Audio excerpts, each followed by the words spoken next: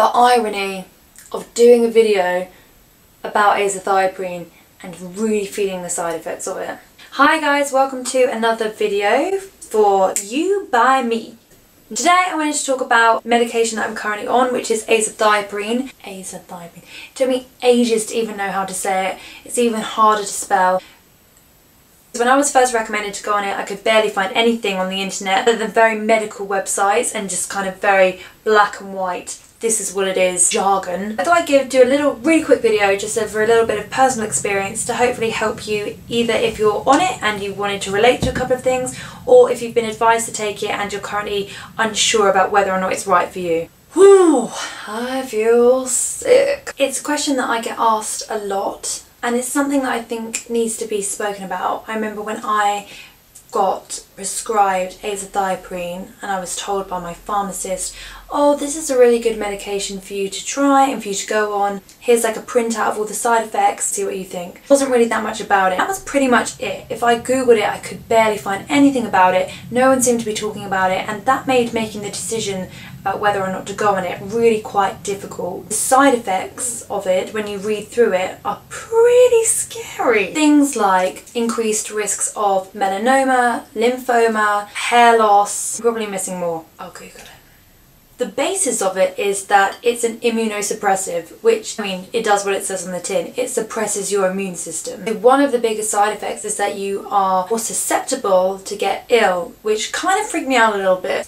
I was thinking, well, I don't want to be ill all the time. I find myself with someone sneezing next to me, like, do you not? Other side effects I was told about are hair loss, extreme fatigue, nausea, joint pain, feel very sick, like really, really, really sick. So what it does, it suppresses your immune system and therefore reduces the inflammation. Kind of telling your body like, chill out, chill out. And then I was told that it would take around two to three weeks to kick in. You wouldn't feel like an immediate effect. It comes in a tablet form, take tablets every single day. Because you're quite susceptible suddenly to all these different things, luckily your hospital will or should be good enough to offer you blood tests every two weeks. And it's not the most convenient thing. Then you normally have a six week checkup, which is a really important one. This assesses your azathioprine levels levels just to basically see if you're on the right dosage. There are definitely pros and cons. It's very individual and it's a very personal experience. In terms of keeping my Crohn's under check, azathioprine has been really really good. Only problem is there are a lot of side effects. For example fatigue, I am tired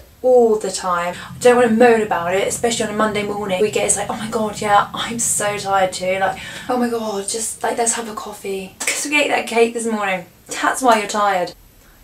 Another thing which is unfortunate is hair loss and that is something that I've experienced a lot. It falls out in big clumps in the shower. I'm pulling clumps of it from in between my fingers. It just falls out everywhere, everywhere. In the first few weeks of taking it, you've got to be really careful and look out for any kind of rashes. You're meant to go straight down to A&E and you'll be seen straight away. This means that you're not reacting right to the medication. I don't know any more than that. Yeah, it's quite a scary decision. I was so stressed about it. I really don't want to go on this. It sounds awful. Why would I want to subject myself to all these horrible side effects potentially? It's all I could think about for a long time. And this guy who I work with kind of pointed out to me, he said, well, you know, Lois, if you read the small print on any kind of medication you take, you know, even paracetamol, companies have to list all the side effects, health T's and C's. And he had a pretty good point. If you ever read the small print about health implications and risks, there are loads and loads and loads of potential factors that you just have to be mindful of to make an informed decision. Obviously, we wouldn't be putting people on this medication if the health risks were that bad. There's obviously a slim chance it might not work for you, but there's also a great chance that it could. I guess it's a very personal decision and you have to weigh up if the benefits